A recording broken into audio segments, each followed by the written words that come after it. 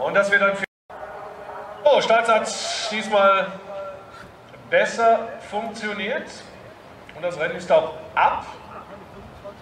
Start sozusagen erfolgt. Und am besten kam mir Bastille Chef auf die Beine und hat hier das Kommando. Bimbo de Folie und dann Casanova d'Amour in der dritten Position. Das erste Band also komplett vorne, wo es in den ersten Bogen hineingeht. Und die 25 Meter sind auch noch nicht äh, wirklich geschmolzen in, diesem, äh, in dieser Eröffnung.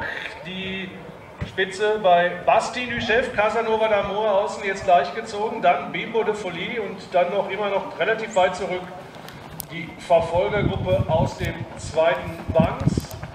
Wird angeführt von äh, You Kiss Me, der ist Vierter. Dahinter dann das ist Apache Geloka in der fünften Position.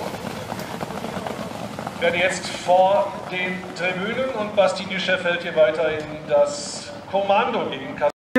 Immer noch Bastien Chef, Casanova d'Amour jetzt wieder in der Angriffsspur und dann Apache Geloka geht ganz nach außen und scheint hier noch einiges zu verkaufen zu haben. Bastien Chef führt, Casanova d'Amour, außen Apache Geloka, innen versucht es äh, Vendangeur. Apache Geloka mit Bastien Chef, aber Apache Geloka klärt das Ganze hier.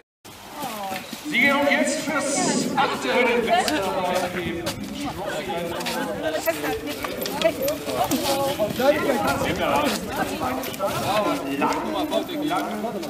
Lehne durch. Lehne weg. App schnell. Ordentlich verkauft. Keine Lust. Aber trotzdem alle Nacht. Ständige Betreuung mit Rennbedarf.